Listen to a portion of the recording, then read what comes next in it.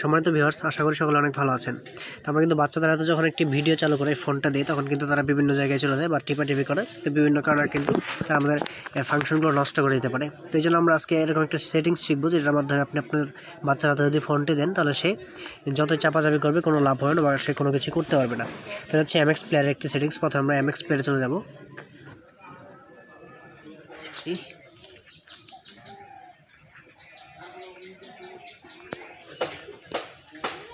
দেখতে পাচ্ছেন, এখন কিন্তু ভিডিওটা চলতেছে এই ভিডিওর মধ্যে যখন আমাদের যে নর্মালি যে লকটা রয়েছে, এখানে এমএক্স প্লেয়ারের এই লকটার মধ্যে যদি আমরা টাচ করি, তাহলে কী হবে? এখানে কিন্তু একটা লক হয়ে যাবে স্ক্রিনটা আমরা এখানে চাপ দিলাম তারপর পর দেখতে পাচ্ছেন যে এখানে কিন্তু লক হয়ে গেছে। এখানে দেখতে পাচ্ছেন লকের আইকন দেখা যাচ্ছে। কিন্তু বাচ্চারা কিন্তু এটা বুঝে ফেলে, পরে এখানে তারা চাপ দিয়ে কিন্তু লকটা আনলক করে বিভিন্ন জায়গায় চাপাচাপি করে আমাদের ফাংশনগুলো নষ্ট করে দিতে পারে। তো এই জন্য আমাদের করতে হবে কি এখন? যাতে এরকম একটি লক করতে হবে, যেটার মধ্যে বাচ্চারা সেই লকটা খুঁজে পাবে না বা সেই লকটা দেখতে পারবে না বা এটা আনলকও করতে পারবে না। প্রথমে এটাকে আনলক করে দিলাম।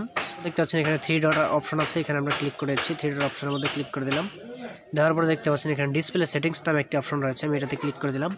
দেওয়ার পর দেখতে পাচ্ছেন এখানে কন্ট্রোলস নামে একটি অপশন রয়েছে, আমি এটাতে ক্লিক করে দিচ্ছি। তারপর এখানে দেখবেন যে লক মোড। এখানে আপনি দেখবেন এখানে তিন ধরনের লক আপনি পাবেন। প্রথমে দেখতে পাচ্ছেন যে লক, তারপরে দেখতে পাচ্ছেন যে কিডস লক, তারপরে দেখতে পাচ্ছেন যে kids lock plus touch effect তো আমরা যে দ্বিতীয় নাম্বারটা যেটা আছে, এটা আমরা এখানে ক্লিক করে দিব। দ্বিতীয় নাম্বারটাতে ক্লিক করে দিয়ে আমরা এখন নর্মালি বাইরে চলে আসলাম। আসার পর দেখতে পাচ্ছেন আমরা এখন স্ক্রিনের মধ্যে স্ক্রিনটাকে লক করব। আমাদের যে লকটা রয়েছে, আমরা লকের মধ্যে চাপ দিয়ে দিলাম।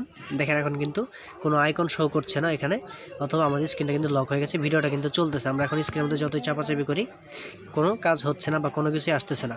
তো আমরা যদি চাই এখন নেভিগেশন বারটা নিয়ে আসব নেভিগেশন বারটা টান দিলে অল্প সময়ের জন্য বা ওয়ান মিলি সেকেন্ডের জন্য এখানে থাকে, তারপর এটা চলে যায়। যা বাচ্চারা কিন্তু এখান থেকে কখনোই লকটা আনলক করতে পারবে না। তো এটা আনলক করার জন্য আপনার সিস্টেমটা হচ্ছে, আপনি একবারে কোনায় চাপ দিতে হবে। চারটি কোনায় একেবারে চারটি কোনায় যখন চাপ দিবেন, এটা ঘড়ির কাটার দিকে, ঘড়ির কাটা যেভাবে ঘুরে যেমন এইভাবে এইভাবে আপনার কিন্তু চাপ দিতে হবে। তো আমি প্রথমে চাপ দিচ্ছি, আমি যে কোনো একটা কোনা সিলেক্ট করতে পারেন, কোনো সমস্যা নেই, আপনাকে শুধু ঘড়ির কাটার দিকে চার কোনায় চারটা চাপ দিতে হবে। একেবারে কোনায় দিতে হবে চাপটা, আপনার মনে রাখবেন। তো আমি চার কোনায় চারটা চাপ দিচ্ছি।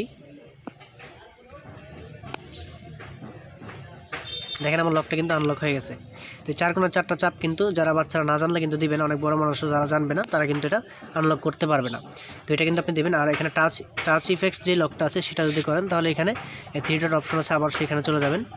টাচ যে ইফেক্ট রয়েছে, সেই ইফেক্টটা সহ যদি আপনার দিয়ে যান, তাহলে এখানে ক্লিক করলাম কারণ এটা টাচ ইফেক্টটা দিলে বাচ্চারা অনেক এনজয় করে।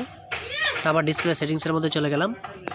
যাওয়ার পরে দেখতে পাচ্ছেন কন্ট্রোলের মধ্যে চলে আসলাম, আসার পর দেখতে পাচ্ছেন এখানে আবার লক মোড এখানে আমি এটা ক্লিক করে দিচ্ছি। ক্লিক করে দেওয়ার পর দেখতে পাচ্ছেন এখানে kids locks plus touch effect আমি এটাতে ক্লিক করে দিলাম। এটাতে ক্লিক করার পরে যখন আমরা বাইরে চলে আসব আবারও, আসার পরে দেখতে পাচ্ছেন এখানে আমরা আবার লকটা স্ক্রিনটা লক করে দিলাম। এখন যদি আমরা স্ক্রিনটা টাচ করি, দেখবেন বিভিন্ন ইফেক্ট আমরা দেখতে পারব। এটা কিন্তু বাচ্চারা অনেক এনজয় করে।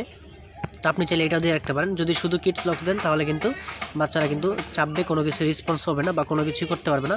আর যদি কিডস লক্সের সাথে যদি আপনি ইফেক্টটা সহ সেট করে দেন, তাহলে কিন্তু বিভিন্ন জায়গায় চাপ দিলে এটা কিন্তু শো করব। এটাও কিন্তু আনলক করার সিস্টেম একই, আপনি চাইলে আনলক করতে পারেন। চার কোণে চারটা চাপ দেবেন এখানে এখানে, তারপরে এখানে এবং এখানে। দেখেন, এটা কিন্তু আনলক হয়ে গেল। এভাবে কিন্তু আপনারা চাইলে এই লকগুলো করে দিতে পারেন। তো ভিউয়ার্স ভিডিওটা যদি আপনার কাছে একটু ভালো হয় তাহলে চ্যানেলটি সাবস্ক্রাইব করে অবশ্যই বেল বাটন প্রেস করে রাখবেন। আর যদি আপনি অলরেডি আমার সাবস্ক্রাইবার হয়ে থাকেন, তাহলে দি গ্রেট